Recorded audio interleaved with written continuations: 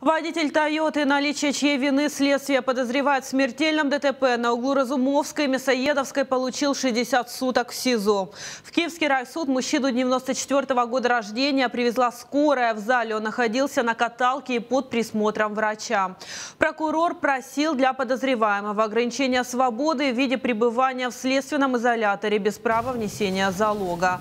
Адвокат водителя настаивал на домашнем аресте в связи с состоянием здоровья мужчины и с учетом того, того, что его жена находится на позднем сроке беременности, а также у нее есть восьмилетний ребенок.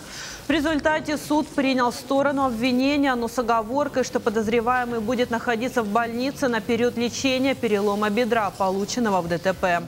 Подтвердить или опровергнуть свою вину мужчина пока не может.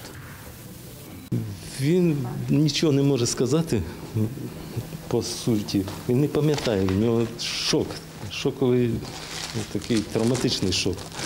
Як мені казав, що він начебто проїжджав на, на зелений.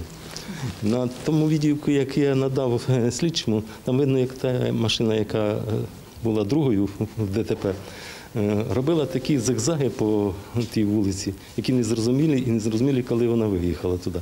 Тут потрібні автотехнічні експертизи. Адвокат пообещал оспорить меру пресечения в апелляции. Напомню, 5 января ныне подозреваемый Михаил Марчук был за рулем Тойоты Кэмри, которая на скорости влетела в БМВ. От удара последняя загорелась. Водитель и пассажир немецкой иномарки погибли.